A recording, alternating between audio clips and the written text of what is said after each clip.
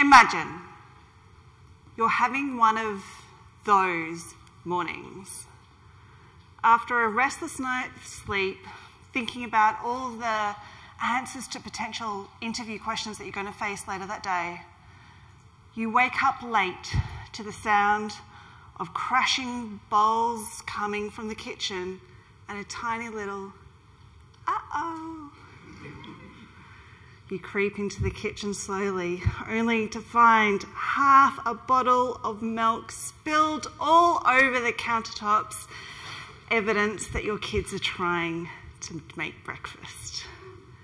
So you're running late after spending the morning not only cleaning up the mess, but going very slowly and showing how, how to do that breakfast making properly.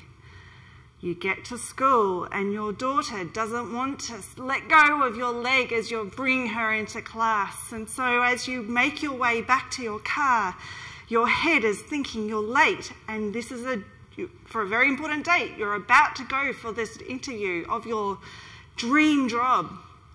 And as you make your way in your car along the road, you manage to hit every single red light on your way there. So you pull up and you finally find a car spot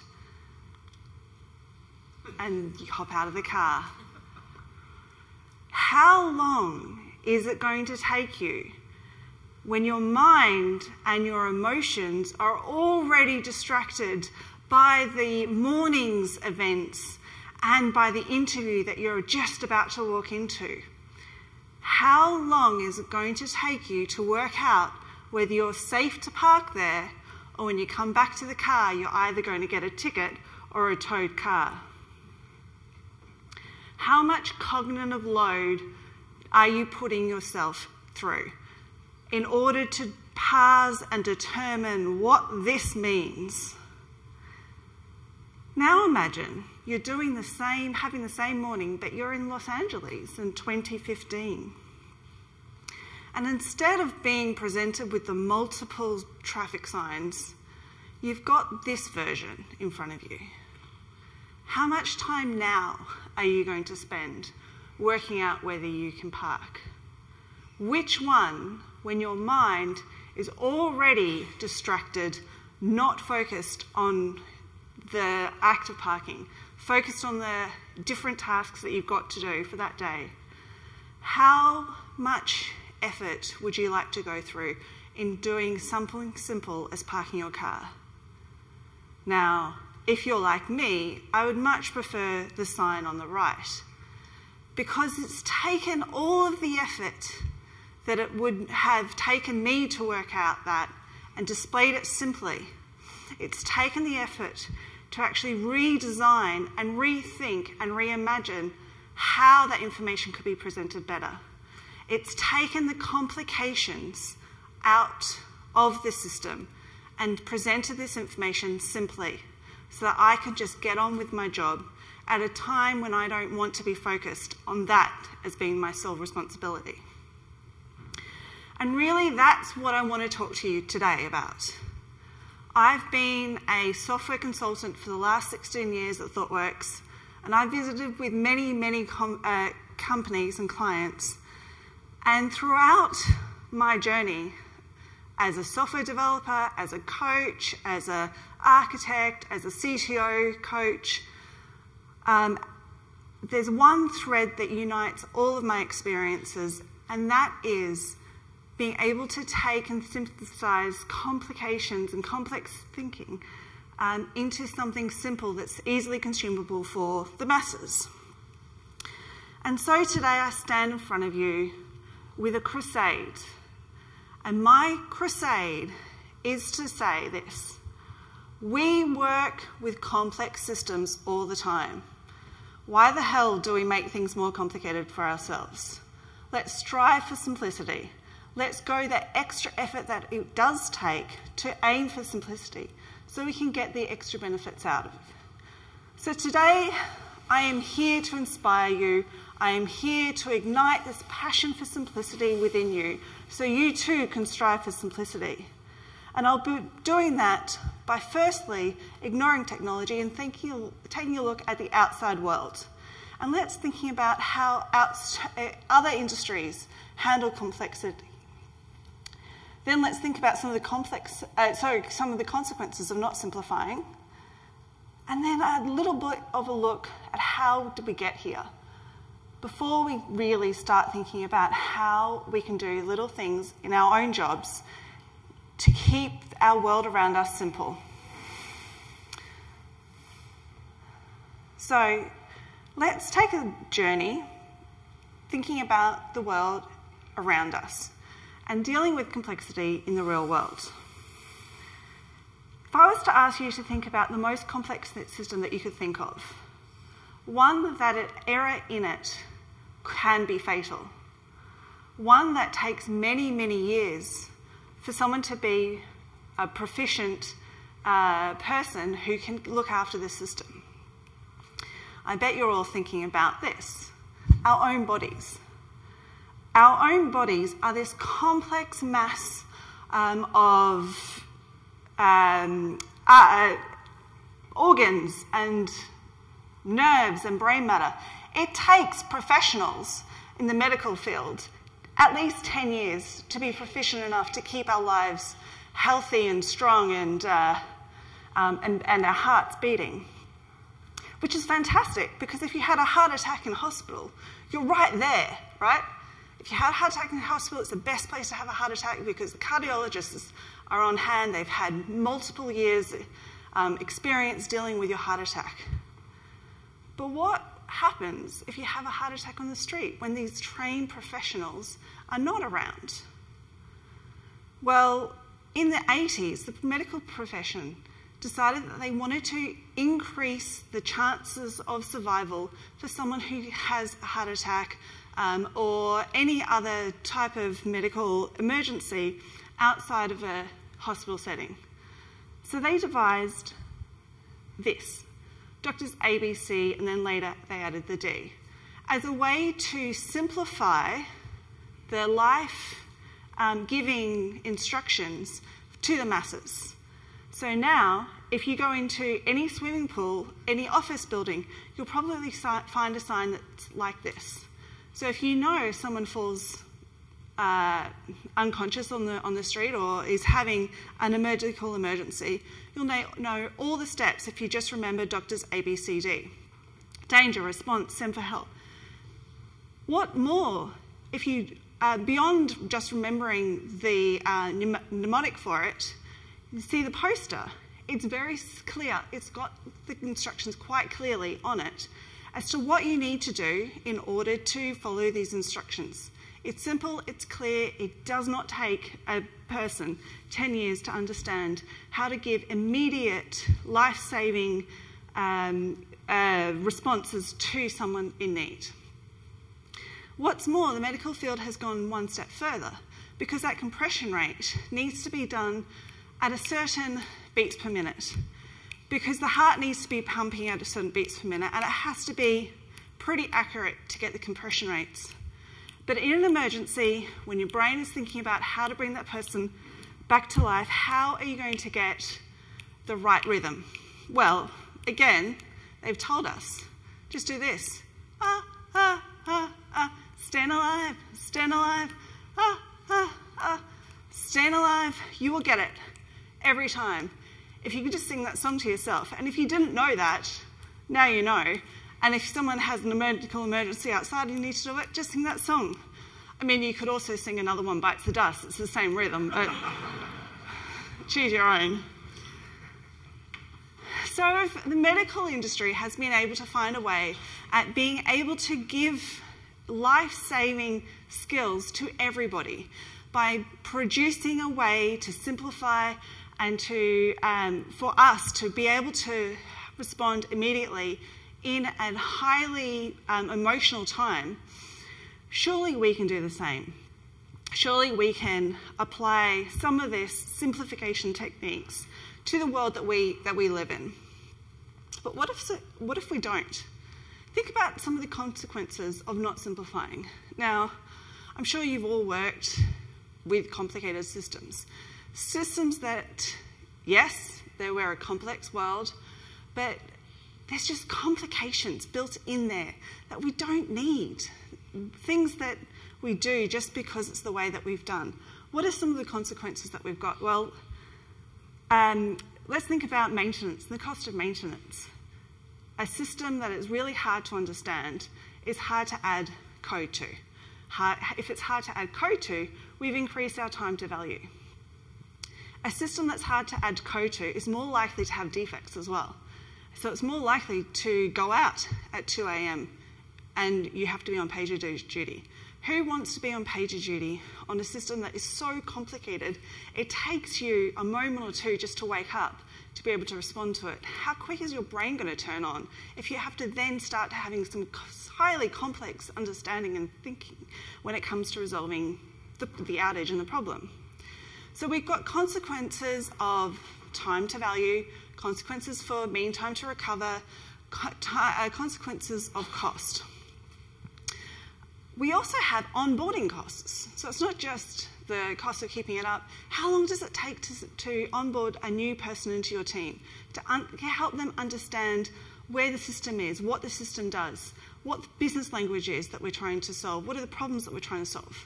How much time is that onboarding cost costing your organisation? And then, if we look, step back and think at a macro level, who remembers Alta Vista? And then, if anyone remembers Alta Vista, you remember that that was a really complicated way to be able to find information on the net. Along comes Google with a very simple UI. There's the type of UI standard that we now just naturally work towards. They simplified everything that AltaVista tried to do and just had one text button. So what's the cost of not simplifying for AltaVista? Well, where's AltaVista today? So the, the cost is quite high for organisations at both a micro and a macro uh, level. So it is something that we need to address and it is something that we need to do both for personal harmony with the way that we work and interact with the systems, but also for the bottom, uh, for the bottom line. Now, it wouldn't be 2023 without some reference to ChatGPT, right? So, in order to help me research what are the case studies, real world case studies that I could bring to this audience to show more than just, you know, my Google example, some of the examples I'm going to show later. Well, Google, uh, ChatGPT, sorry, it says that there's many. I, I started to go in a little bit of a rabbit hole researching each of these ones. And each of them have a really fantastic story about where the complications sort of started to creep in and pile up and pile up, so much so that it has these um, macroeconomic um, consequences of the disasters caused due to the consequences of not, not simplifying. By the way, ChatGPT is actually a useful tool that I've been using recently just to chuck some ideas in there that helps me synthesize some of the, my thoughts and my processing. But how did we get here? Now, I'm going to take a pause from my crusade and my inspiration in, you know, inviting you to join my, my crusade and just think a little bit about why they're in this position that we're in the position.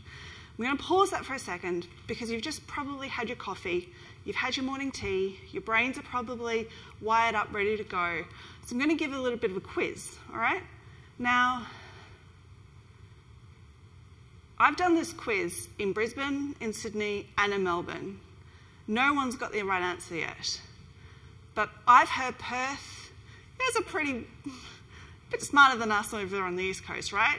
So I'm pretty sure you guys are going to get the answer. Now, this is, this is the, the quiz. I've got a pattern in my head. 268, match my pattern.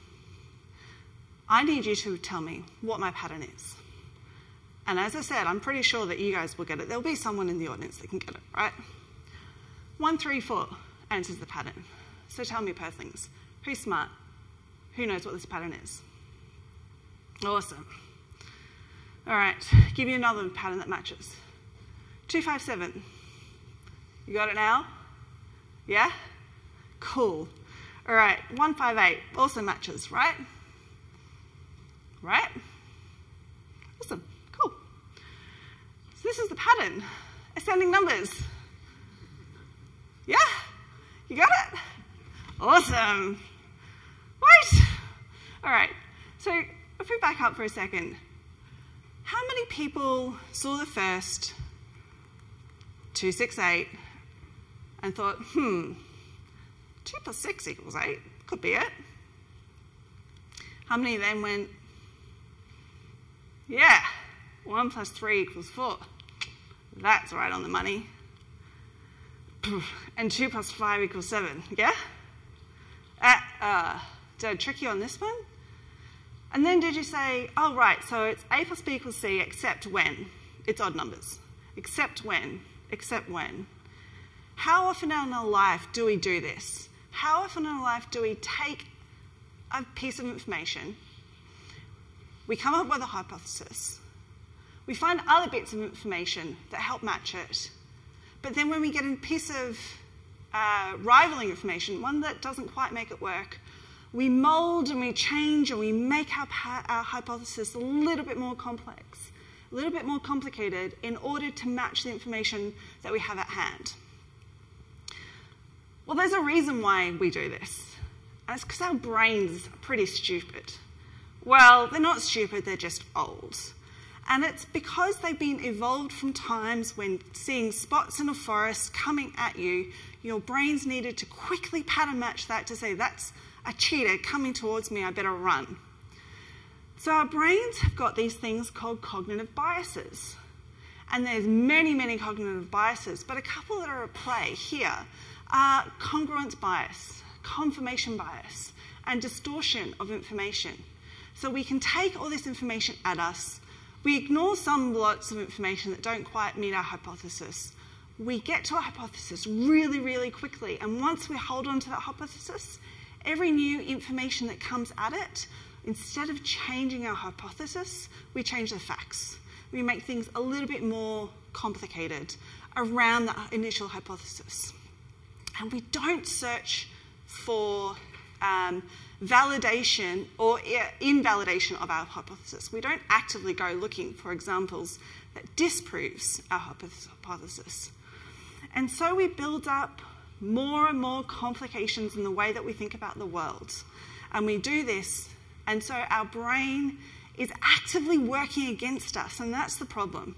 Our brain is actually there to make things more complicated than they need to be. If we think about how that comes out in our everyday world, well, uh, paradox, paradox of choice. In the, in the book, Paradox of Choice, we hear, you know, the stories of the 50 different jam jars that are on the shelf in the, um, in the shop, we're paralyzed by that choice. There's too much choice. There's too many things that, that we need to stop and think about. That cognitive load on our system is too high for us to process at the time when we've got heightened emotions and heightened mental load. When do we have heightened emotions and heightened mental load? Well, when there's outages in our system, when the system has gone down at 2 a.m. and our brains actually aren't firing on all cylinders, when we have to do so many things. Michael talked about the slack time in the team, but how much slack time do we really, really get, and how much delivery pressure do we usually uh, take ourselves under? So, at times when our uh, mental capacity to take on new information is at an all time low, we keep on adding to that, and this just builds up. So, it does take effort and it does take time for us to slow down and to simplify the world. So, if that's the case, and that's the case in the world around us, how does it transform into the world around us in our day to day life? Well, I want you to think about this. Does this work? Does this resonate with you? You have your first requirement coming in. Good. Then you have your next requirement coming in. It's a little bit differently shaped, but you can deal with that.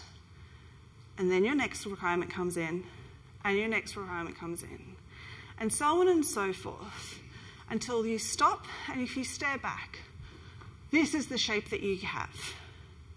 But if you paused for a second and just took a breath and thought about what you really had, you might be able to find a simple way through and a different shape to rearrange that information that you've got. And so this is something that I see time and time again. All these stories coming creeping in. Um, our code keeps on being added to. Our design keeps on being incrementally changed and evolved over time. But we don't usually allow ourselves the time to sit back and think and reflect in these micro moments to work out what we're actually building. Now, I'm sure everyone in this room is doing TDD, right? How, what do you do for TDD? You write a test that fails, then you write some code that makes a pass. Then you write a test that fails, and then you write a code, the test, uh, code that makes a pass. And then you write a test that fails, and then you write some code that makes a pass, and oh my gosh, I forgot a step. I forgot the step, which is refactor. Because actually, TDD was meant to be write a test, write some code, refactor. Write a test, write some code, refactor write a test, write a code, and refactor. And because most people forget that refactor state and every single line of code that they're adding, we miss out on those micro moments that we can take to simplify our code. Yes, maybe that first lot of code that you added to make the test pass makes the test pass and you can move on to do the rest of the story.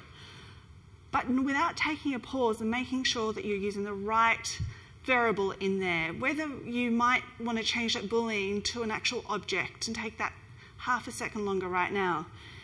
We miss the chance of making these micro moment refactorings within our code and they build up and they build up. I know because I'm working in a service line that deals with legacy modernization.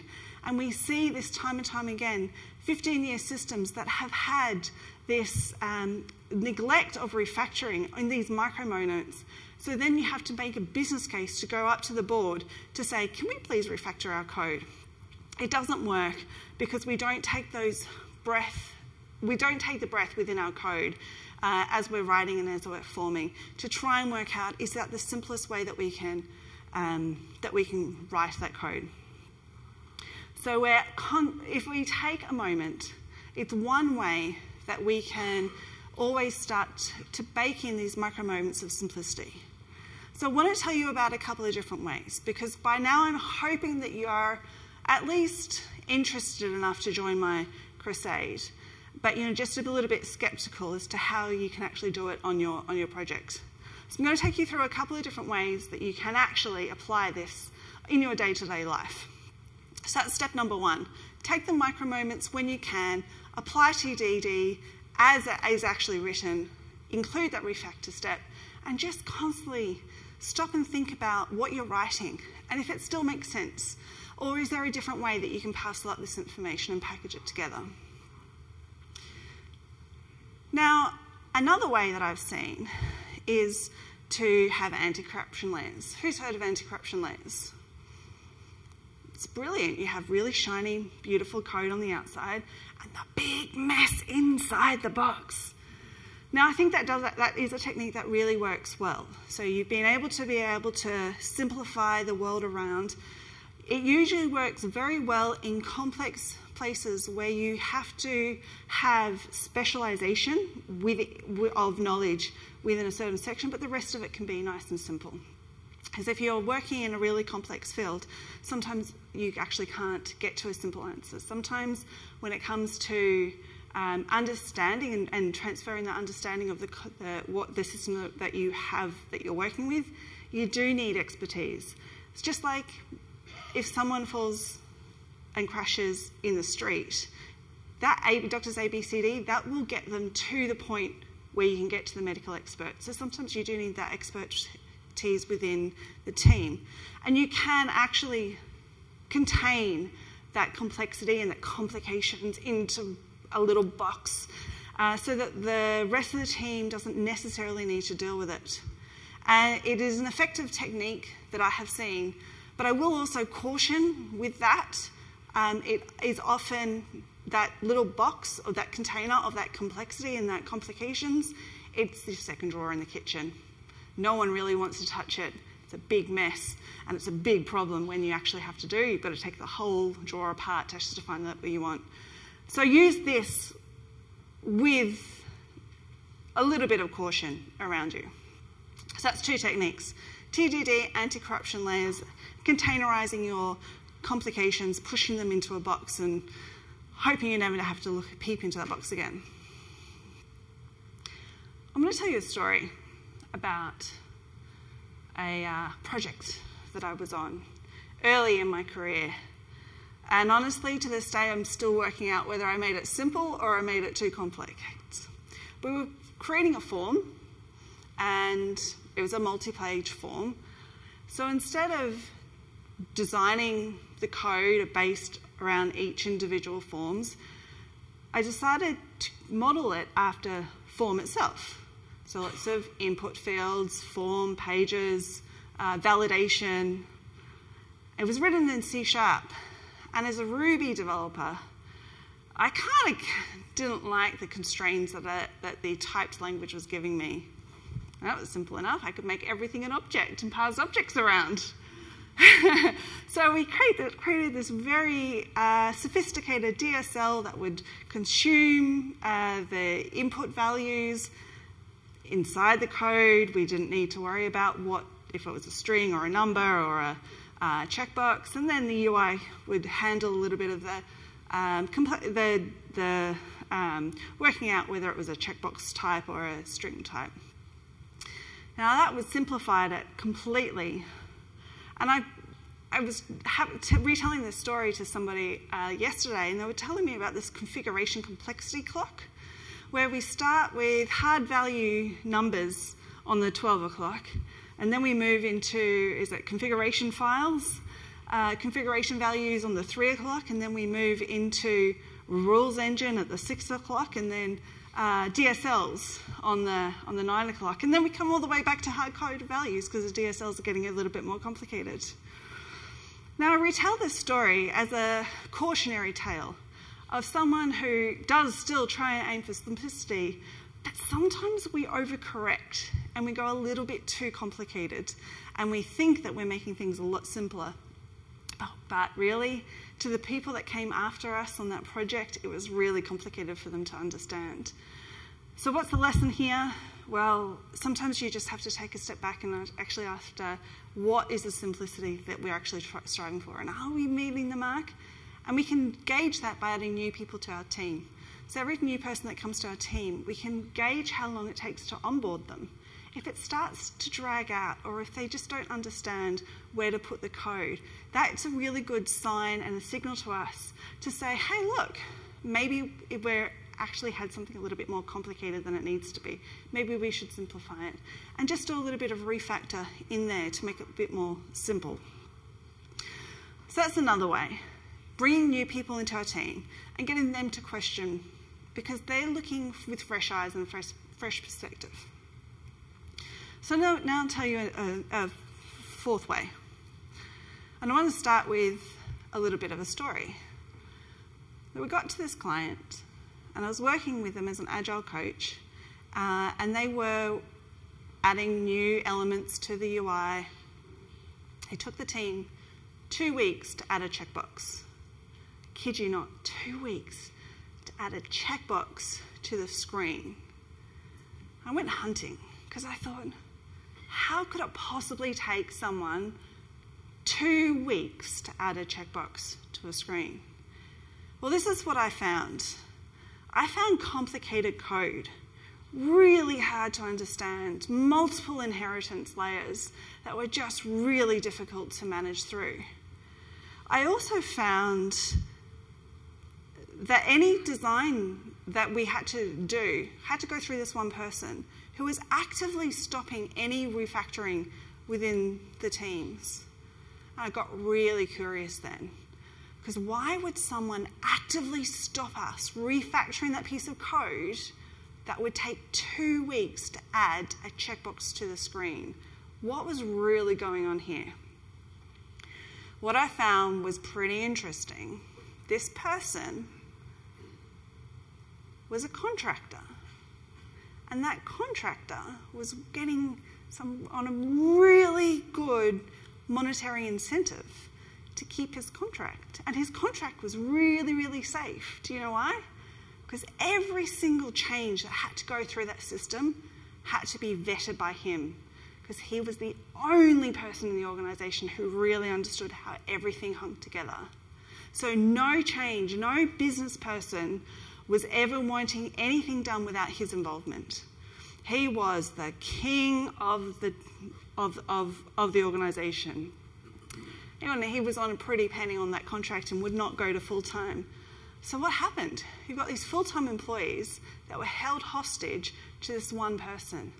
And why? Because he had power. His power and his uh, position within the company was tied to the fact that he owned the understanding of this. So, what did I do? I democratized that knowledge. I started to refactor the code. I got approval to refactor the code, but as a consultant, we sometimes get more approval of people than people on the ground. So we refactor that code we democratized that knowledge. I started to do, run boot camps in understanding the domain. So everyone in the team could understand what we were doing, how what they were working on was impacting the system around them, and really just understanding the business that they were working with. So by democratizing that power and taking that away from that one individual, boy, he got mad, but certainly we gave the value back to that company because everyone was then able to start thinking about the ways that they could simplify it. Uh, and the complications within that system, we went from two weeks for to add a checkbox to two hours. And that's really what we're trying to get to. Decreasing that time to value because we've removed all that complications out. So, if you find there is a person of power in your organization who is holding that knowledge because it's really um, useful for them personally. Start to think about how you can democratize that information. Because if you can start explaining to everybody how the system works, you will naturally start to simplify the world around you. Okay, so that's five methods now that we've been talking about. TDD, um, is, a, is, a, is a great one. And TDD is great when you use conjunction with business language. So, who's worked? Who's worked in a in a in overseas countries? Uh, I worked at. I, I worked in the UK once. We speak English, but we don't speak English. We think we're saying the same things, but we don't say the same things. Now, anyone who's worked with a Brazilian understands if you say, I'm going to wear some thongs to the office, you're going to get a pretty crazy look from my, from my Brazilian friends. I uh, was working in London and I saw a pair of jeans on the table and I innocently said, Who's running around with their pants off? Only to find out that pants in the UK was how they talk about underwear. Completely different story there. So, we think we're saying the same thing, but we're not saying the same language. And what happens when we have um, teams where we have not cross-functional teams, when you have business teams in one corner and technology teams in, one, in another corner, so they tend to work and talk about different, uh, at different layers. So, for example, I was working in a publishing company and I had a good old conversation with the business folks, and they were talking to me about authors, and they were talking to me about publish dates and publications and articles and blog posts. And so when I went to the code, I'm expecting to find all those elements in there, but no, I found database records, I found DAOs, I found UI um, related concepts. Because the language that was written in the code was not the language that the business was talking.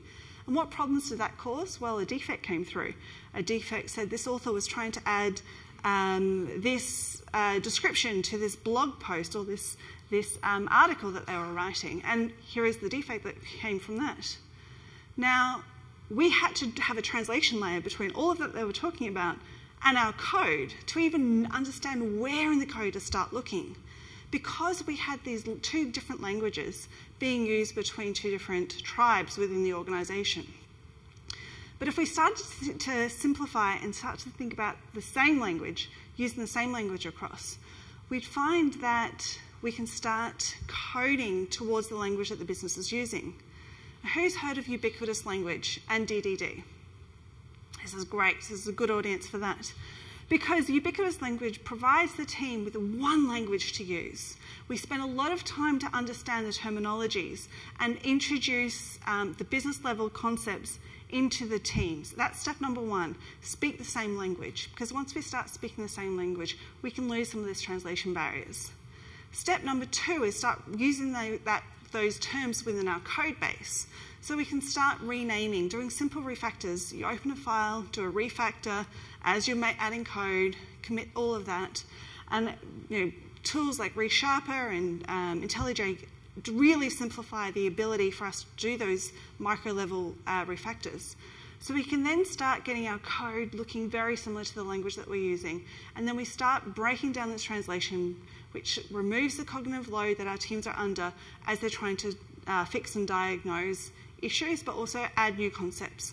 Because we don't, we, we lose that um, translation that needs, that, that we need. And we also can, again, onboard people easily into the teams because we are all just talking the one language. We don't have to have two sets of concepts. So when I started introducing ubiquitous language and DDD to this organisation, the first thing that we did was write a, a big mapping on the table uh, on the whiteboard, and we gave we printed out little palm cards um, that people, the developers, could keep on the desk that would try and do the translation for us.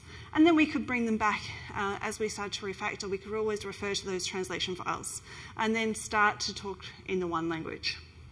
So DDD, ubiquitous language, these are concepts that we've been talking at YOW for many, many years. That's another tool in our toolbox that we can use on a daily basis to start bringing some of this simplification to our, to our uh, workplace. Now, as I said, I, I'm a consultant and I usually go into organizations. And the first thing I do is ask the teams, can you draw the architecture? Take me through it. Tell me what we've got. What are the systems? Where are they living? Now, I usually end up with this at the end of the session. Who's guilty? Who has this as their architecture diagram? Bit of a mess, really tricky to understand, and if it's tricky to understand, it's really difficult to communicate, and the complications that are in there are infinite.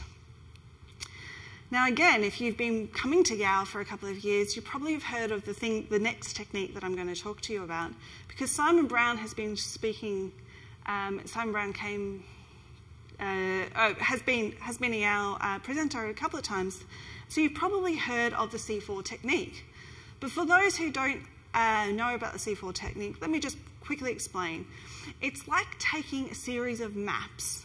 You're treating your architecture like a series of maps. So when we first start talking about the 10,000 foot, really high level view, we're taking out a big picture of the world and we're just plotting where all the countries live, where all the big systems live. But if I really want to know where Simon Brown lives in New Jersey, I then have to take out a view of the UK. And again, on the UK, I need to see that it's right down in the south in the, in the English Channel. But again, if I really, really want to know where Simon Brown is, because because I baked a cake and I don't want to egg us out, I want to deliver him a cake, I then have to go to a street level view. But as we go down to each different layer of detail, we're looking and zooming in further and further. We don't lose any information because all of the different maps that we're building up around us are still there, still referenceable. They just don't need to be on the same whiteboard or in the same page. Now, I challenged my team recently to take C4 and actually do C4 as a post it.